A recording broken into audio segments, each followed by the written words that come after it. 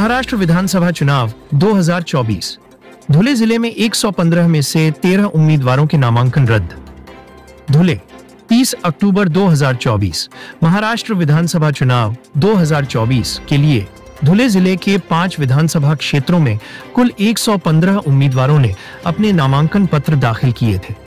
आज नामांकन पत्रों की छानबीन के बाद 115 में से 13 उम्मीदवारों के नामांकन अवैध पाए गए। जबकि 102 उम्मीदवारों के नामांकन वैध घोषित किए गए हैं। यह जानकारी चुनाव शाखा द्वारा दी गई।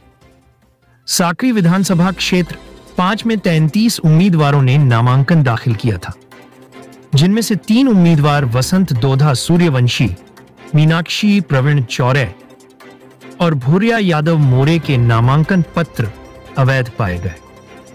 अब 30 उम्मीदवार इस क्षेत्र से चुनावी मैदान में रहेंगे।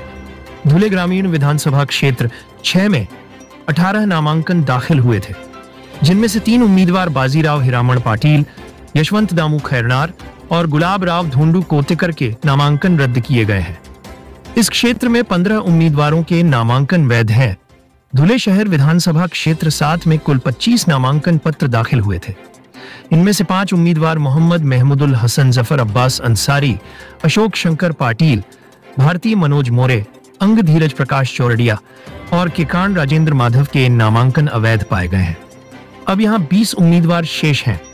शिंदखेड़ा विधानसभा क्षेत्र आठ में 26 उम्मीदवारों के नामांकन दाखिल हुए थे, जिनमें से दो वैभव दिगंबर निकम और भोजे सिंह, तोड़ सिंह रावल के नामांकन अवैध घोषित किए गए हैं।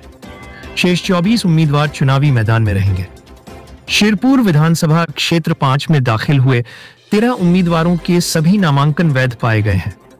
विधानसभा चुनाव के लिए नामांकन वापसी की अंतिम तिथि 4 नवंबर है, जबकि मतदान 20 नवंबर को और मतगणना 23 नवंबर 2024 को होगी।